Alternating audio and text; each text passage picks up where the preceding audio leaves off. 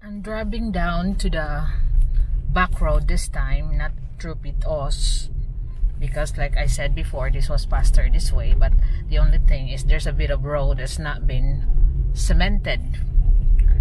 I'm going down to pay my bills because last time I went down while I was queuing up, they began down offline. There has been a major problem with the internet connection here lately. I was even struggling to upload my videos. And when I call them, they so-called upgrade their system. So I'm planning to make my video shorter now to make it easier to process and to upload. I will talk about one topic at a time instead of two or three topic in a video and making the video longer. I wish that the Starlink of Elon Musk must come can come earlier here in the Philippines than they plan because our slow internet providers here in the Philippines will sure the Smart and Globe will surely be run out of business if that Starlink will come. Another hope for our internet connection up there is the coming operation of China Telecoms Around our area alone, there are several rented lots now that they will put up their tower. One in Pulang Batu and going up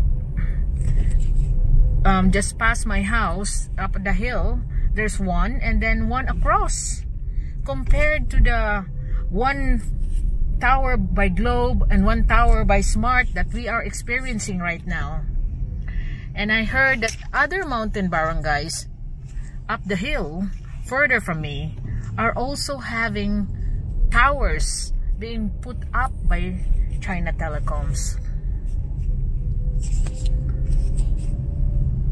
I'm gonna have to stop.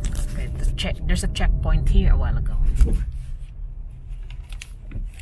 So like I said, it seems like China Telecoms is gonna be the answer to our slow internet for now, if Starlink of Elon Musk will not come here immediately, but I hope that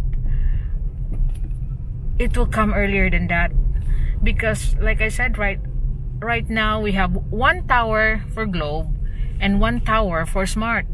Whereas as of the moment confirmed by the neighbors that their land is rented by China Telecoms three in that area alone I mean, in some mountain areas right now, I often heard that people climb on the top of the trees or the roof of their house to make a good signal on their phones. In fact, before COVID, I went with the villagers to attend a fiesta that we were in, one of us was invited.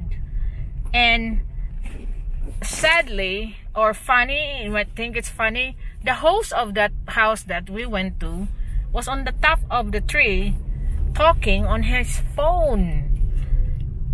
Some find it funny, but it's really sad that what about emergencies? Do you need to climb, like nighttime, do you need to climb on the tree to call? Uh, but it, we are unfortunate right now here mostly but luckily in the place where I live it's it's seldom have a bad signal because I am facing the towers. But for the further up the hill